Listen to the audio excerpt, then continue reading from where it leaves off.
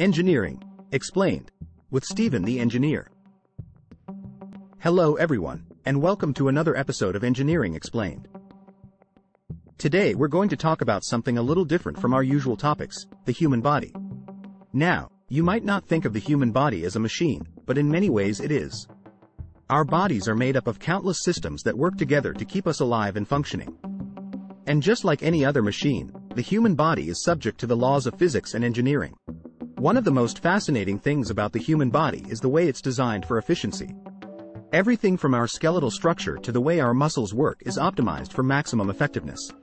For example, did you know that the way our bones are arranged actually makes it easier for us to stand up straight and walk on two legs? Our circulatory system is another example of engineering at work.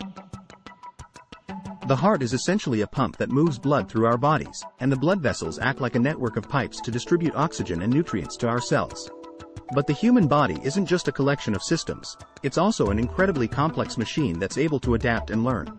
Our brains are perhaps the most amazing part of our bodies, with billions of neurons working together to control everything we do. And just like any other machine, the brain can be studied and optimized. So why is all of this important to understand?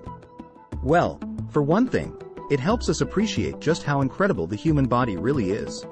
But more than that, it can also help us improve our own health and well-being. By understanding the principles of engineering that govern our bodies, we can make better choices about how we eat, exercise, and take care of ourselves. So that's a quick overview of the engineering of the human body. I hope you found it as fascinating as I do. And don't forget to subscribe for more videos on engineering topics. Thanks for watching.